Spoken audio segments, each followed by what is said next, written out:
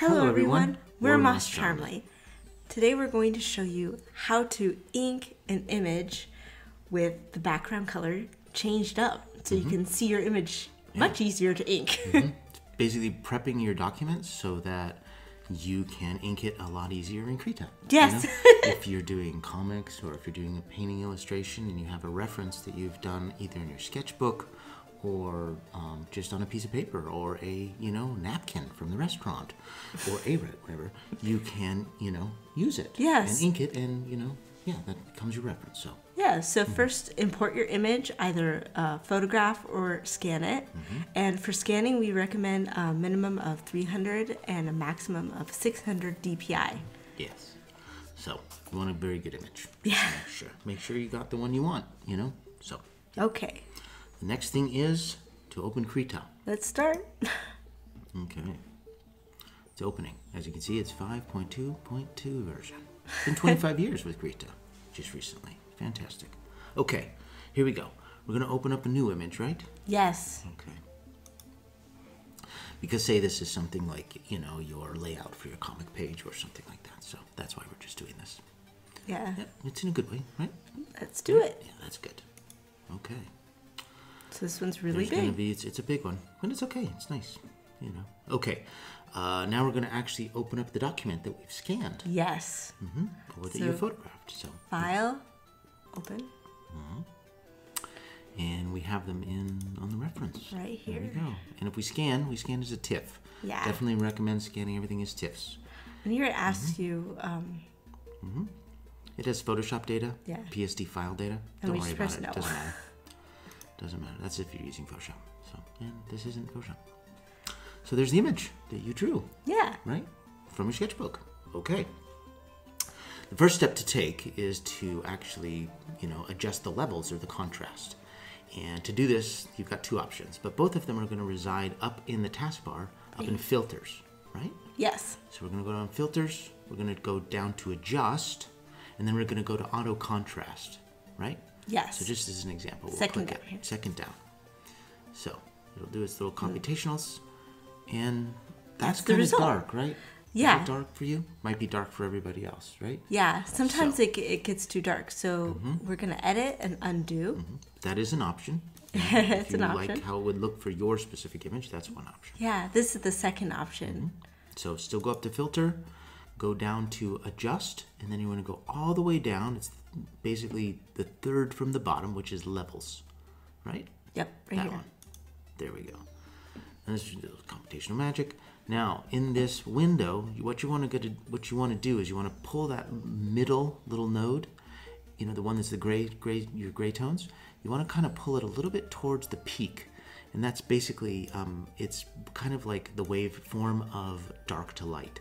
So if you pull it a little bit towards the light, what you're going to actually do is make the lines a little darker, which might be what you really want, right? There we go. You can do it a little bit at a time. Yeah, I like go to- too dark, right? Yeah, it, if you like just just move it a little bit and then uh, just see it the what it, the result of it. Yeah. So you can kind of get an idea of what you want. If it's too dark, sometimes you do lose detail, so you do want it to be just right. That's true. And sometimes if you pull the white out too much, Mm-hmm. it, you can get a burnout effect, which makes it kind of yellow. Yeah, which isn't exactly good. But I would pull it, pull the white in a little bit, and yeah, and that will adjust your red tones as well. Only because when it goes to do, you know, the transfer, it's kind of, it has a brighter, you know, uh, tone to pick from. Yeah. So yeah, and when you're happy, you can just press OK, right? We go. Here we go. There we go. Looks good. Nice. Okay. so the next step is going to be desaturation, right? Yes. Okay, so we're going to take the color out of it, make it black and white.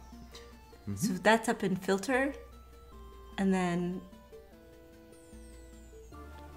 adjust, Mm-hmm. and then oops, sorry, adjust, and then desaturate right here. Yes. And then we go all the way down. We we go to max on this, Mm-hmm. And then we press OK.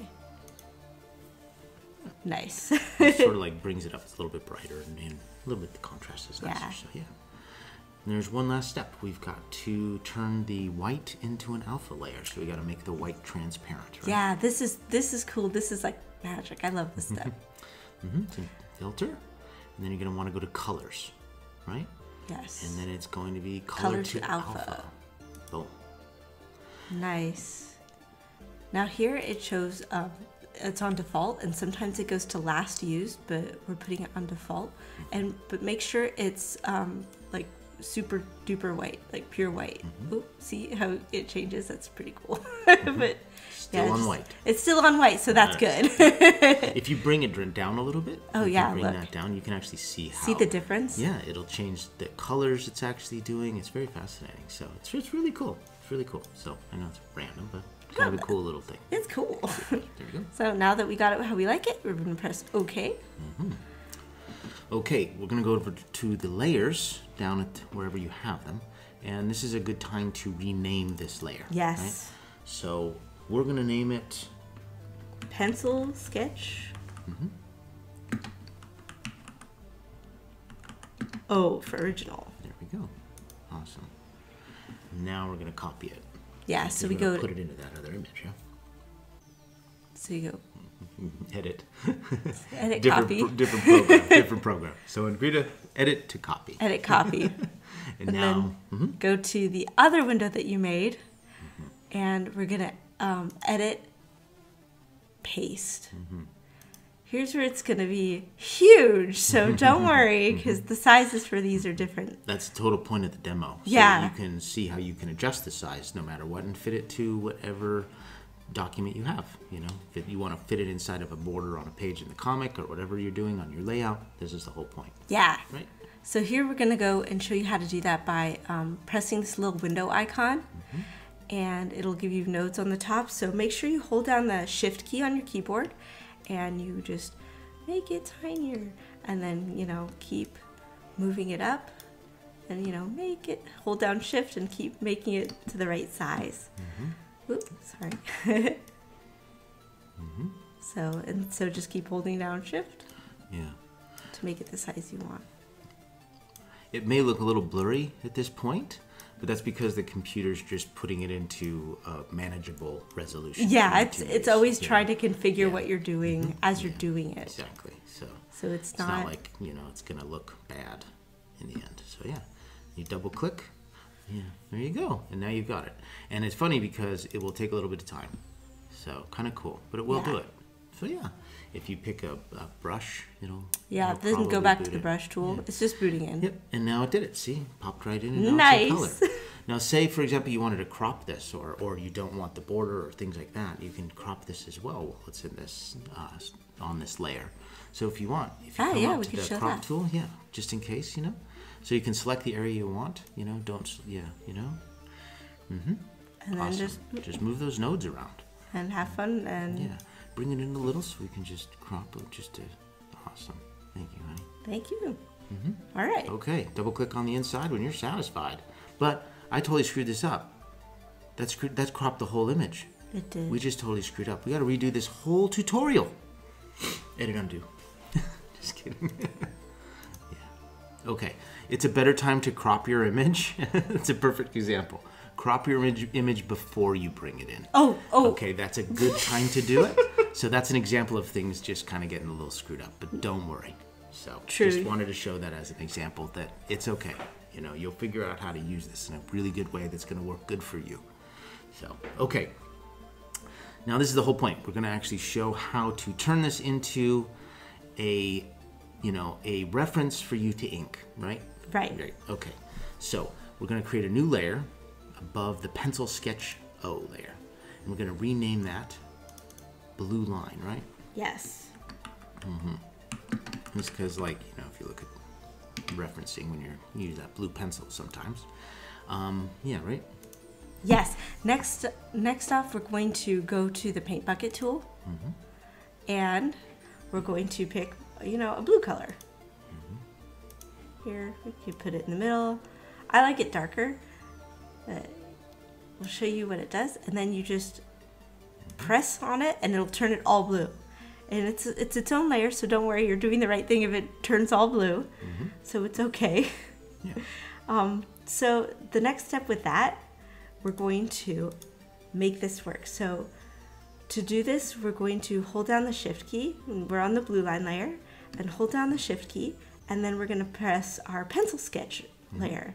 And so those two are, are um, selected. So then we're going to right click with our mouse and we're going to go down to group and then quick group over here in this other menu and press that. And then it quick groups these images. This is what makes it happen. This is what's really cool. Here and then we'll, we'll name our uh, our uh, group. We'll name it like reference image blue. I don't know, whatever, whatever.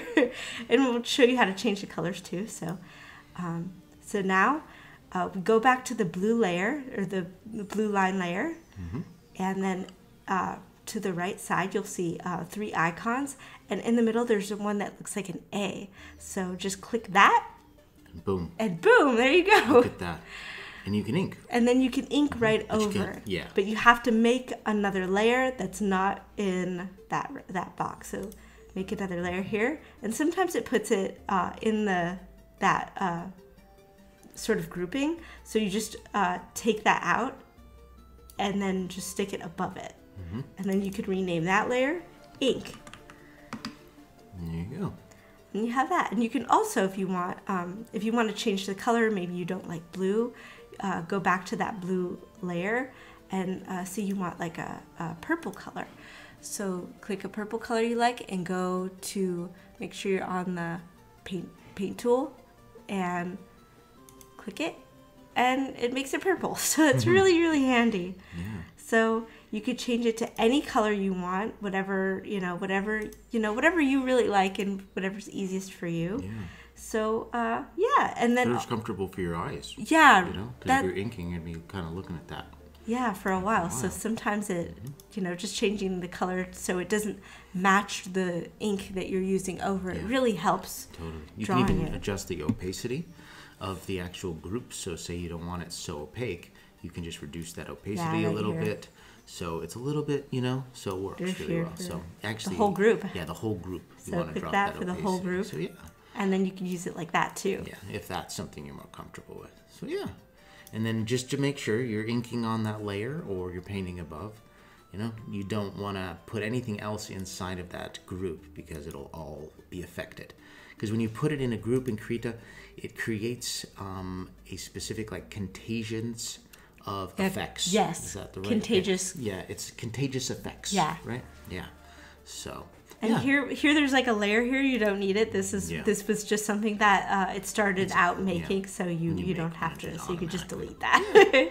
So yeah. so yeah, so feel free to just start inking over your picture and you know have a good time with that. Oh, also, you know, before we Oh, head yeah. out, we want to show you how This is to. a pro tip.